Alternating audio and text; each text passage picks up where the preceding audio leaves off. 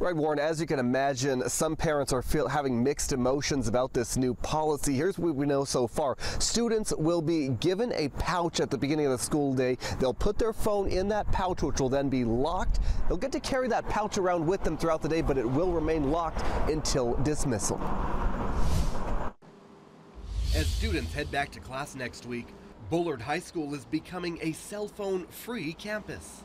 Fresno Unified Board Trustee Terry Slatic says the bold move is to help students focus in class. People realize that we need to save education and we can't keep doing the same stuff we've always done and expecting a different result. He points to the success of other schools adopting similar policies, including current Bullard principal Armen Torigian's last campus, Tenaya Middle School. Now, that was a very relatively easy thing to implement with 12 and 13 year olds when there's 900 kids in the classroom in the, in the campus.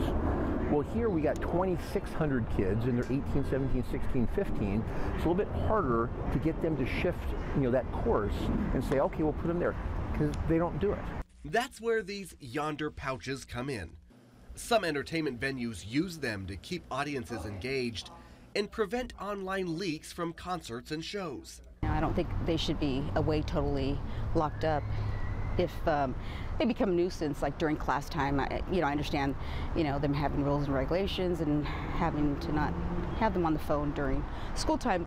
Many parents and grandparents say they do see the need to cut down on phone time in the classroom, but are concerned with a complete lockdown especially during an emergency. But in the event that emergency should happen, it kind of, at least if you got that little text message across, some communication across, it would be like better than not hearing from them at all. Slatic says there will be times when students will have access to their phones, noting every teacher, coach, and administrator will have a key to unlock the pouches. The Fresno Teachers Association sent Action News this statement saying, quote, however one might feel about the policy, any policy change that doesn't include the authentic input from stakeholders is disingenuous, and unfortunately, this seems to be common practice in Fresno Unified.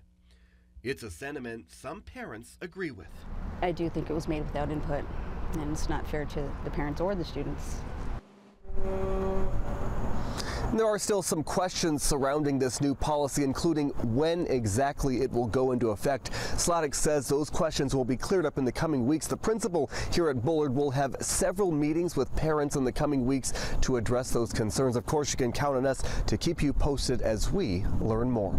For now, live in Northwest Fresno, I'm Nick Garcia, ABC 30 Action News.